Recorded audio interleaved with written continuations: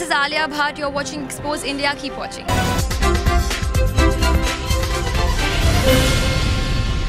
भारतीय नेवी ने गुरुवार को सबमरीन कलवरी के अंडर वाटर मिसाइल को सफलतापूर्वक लॉन्च किया यह प्रक्षेपण अरब सागर में किया गया इसमें पहली बार में ही मिसाइल सीधा निशाना लगाने में कामयाब रही, जिसके बाद रक्षा मंत्रालय की ओर से कहा गया कि पहले ही प्रयास में टारगेट को हिट करना एक बड़ी उपलब्धि है यह सिर्फ़ कलवरी के लिए ही नहीं बल्कि स्कॉर्पियन क्लास की सबमरीन के लिए भी बड़ी बात है आपको बता दें कि इसकी रेंज सामने से 12,000 किलोमीटर है वहीं पानी के अंदर से सबमरीन की रेंज 1000 किलोमीटर से अधिक है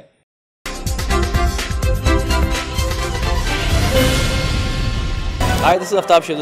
Keep watching Expose India.